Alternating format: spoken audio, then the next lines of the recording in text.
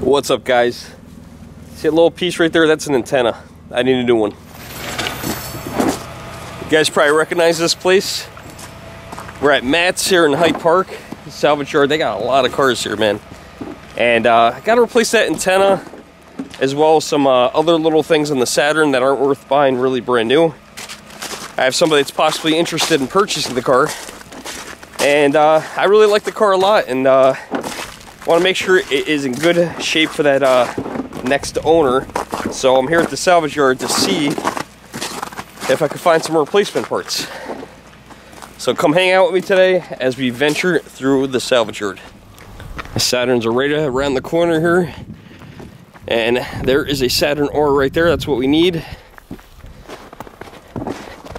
Need some very minor things here. Probably keep this car running forever, but it's time to let it go.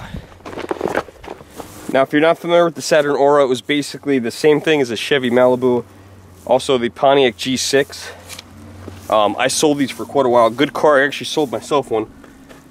This one has broken side glass. Um, and one of the things with the uh, Saturn Aura was that they told us was all the cars have laminated front windshields, but this actually has double paned laminated side glass, which is pretty cool. That's why you see this window like this and not busted out. Somebody left a, a lot of things in this one, including a uh, frying pan. Now, we're very close to the culinary here, so you guys have probably seen some of my culinary videos. And uh, whoever owned this vehicle left a uh, frying pan and uh, lots of lots of culinary stuff. There's even a tie in there. And we need the antenna up there. They even left their GPS and their E-ZPass in there. It's kind of crazy. I'm gonna be honest, I'm gonna look around a little bit and see if I can find one that's a little easier to get to because uh, I started moving some things and things just keep falling out. Here's the uh, last one we had. We uh, already removed the antenna from that one the last time I was here. And she said she had a few of them so this is one. And let's see is there any other ones over here? That's an L series. Got Saturn Ion Series wagon oh there's another Aura this one got a uh, hit in the side here but the uh, antenna's there all right that one looks good let's see hopefully the inside this is not uh, as cluttered. Okay, got that one open. Uh, so, okay, let's see. It looks good. Ford something or other there. And someone already took some stuff out of the dash panel. But this should work. Alright, this is funny. I just noticed this. So, the Aura I was telling you guys shares the same platform as the Malibu. Well, someone switched out the airbag at one point. Has a uh, Chevrolet steering cover for the airbag. And then, just to show you guys, this is a Saturn. We're gonna have to do this here. It's pretty funny. Guess they couldn't find any more Saturn parts. All right, this is gonna be our donor car. I'm not sure how much I'm gonna show you guys of this, but I'm gonna remove that antenna First, you got to remove the headliner. I got to go back down, go grab my toolbox, take the uh, sun visors out, remove this uh, panel with the map lamps, and then I can get to the wire that unclips that. That was my mistake last time, is that I just cut the wires instead of uh, doing that. Very stupid, never cut the wires. Um, unfortunately, it's far back into the headliner, the wire, and it's a clip. Why they did this, I don't know. They should have put the clip nice and close to where the, the map lamps are so you could just unplug it but it's all the way over there. So got to take out the headliner. Other thing I need, these little wiper things. They wanted like 50 bucks for these new. You know what? I'd rather just take them out of this car. This car's eventually gonna get crushed. That's something that no one would ever buy. So I'm gonna buy them and save those from the uh, from the garbage, from the dump. Finally got the hood to wedge under the tree limb, but if I move it at all, this car, which of course it's gonna move, it's gonna fall so down. One of the things I noticed is my uh, washer fluid isn't spraying out anymore, so I'm gonna take this whole line out, see where it goes, see where I can grab it from, and take that out, and we'll grab that too. Looks pretty simple. All right, this is gonna be the test dummy car. The uh, washer nozzles did not work out too good. I tried taking those off. Same exact thing happened to mine. They just fell apart. Very brittle, very old. To remove the headliner, we got to uh, remove these, looks like three torque bit screws. We're gonna have to do the same thing over here. Then we're gonna have to remove this and the wire we need to replace uh, for the antenna is like right here. So we're gonna have to unclip it there and it should be from that length all the way up to here. And then we'll uh, take this out right here.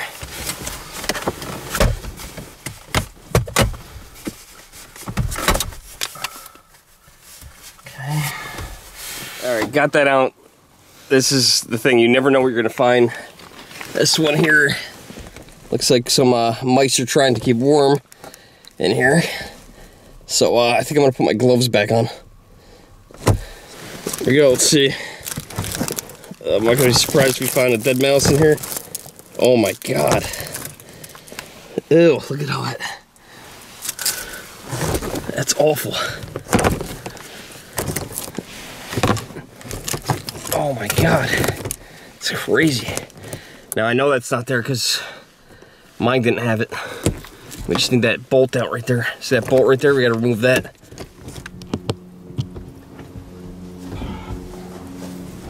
That was a lot more work than I anticipated, taking that headliner out, but got the antenna, got the wiring. Should be good this time. Last time I cut the wires, that was a big, stupid mistake. You gotta take your time to do things. All right, we're gonna open up the hood of the other Saturn Aurora. We're gonna see if we grab the washer uh, spurs off, nozzles off that one. Not sure. These seem pretty brittle. Uh, Mike broke right off. These are probably to happen to have a uh, same thing happen. Uh, but you, you never know, so we'll go try it. Right there's the uh, previous donor car. Then we got the other car we were working on over here. So we're to uh, pop the hood on this one here. Try this again. See if we get those uh, washer nozzles. They look good. This is the original car we were looking at with all the culinary stuff in it with the leather sheets in it. So they just left everything.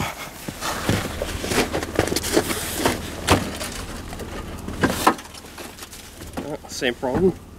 Yep. Oh, gotta remove another heat shield. It's fun. This one's crazy, this Saturn, with all the stuff in it. Look at this. I'm not gonna show her name, but this girl left. She left all her tax returns in here. Unreal. Wherever you are, you should come clean out your car, man. You got a lot of stuff in here. Girl looked like she was from uh, Louisiana.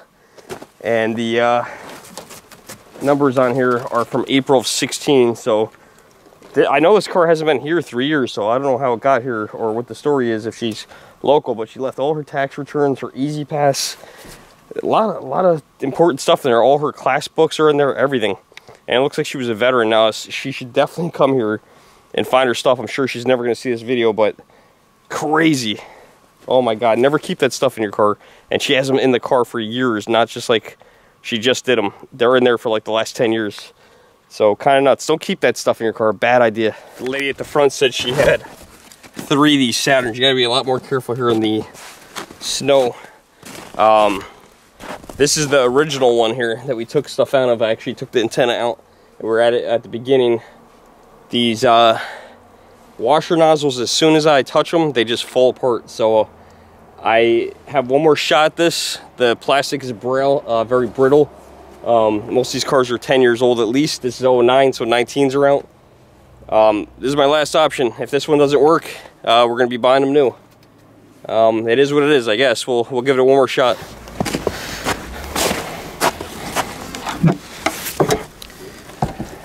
I'm going to show you guys, this is the last one, how brittle these things are. Definitely not meant to be reused. Look at that, broken. That's it. I was very gentle with that, and that's broken off of there. So, only way to get these are brand new, so looks like I'm buying new ones. Oh, wait a minute. Wait a minute. Do you see what I see? Another one. Maybe if I just changed my hood out and swap it with another car would work.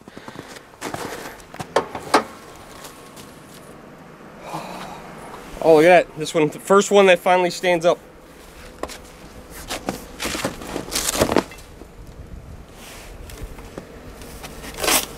Needed Old Faithful here. I've learned uh, how to get these off very easily.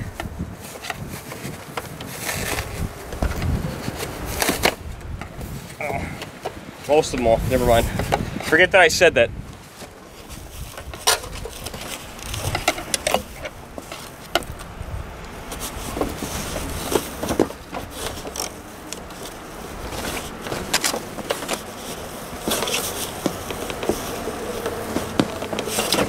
Wow, it's the first one that is not coming off. Does not want to come off. Already broken.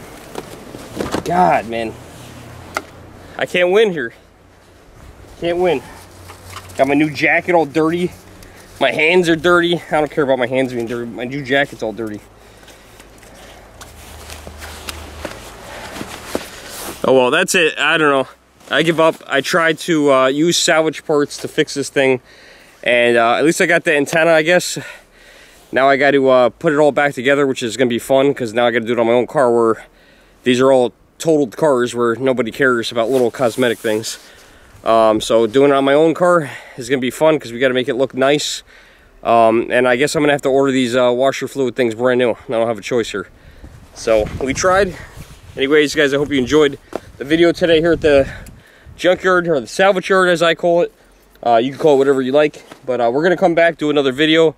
I am the Germ. Please like, share, subscribe if you guys want to mail something to the P.O. Box. The P.O. Box is in the description below.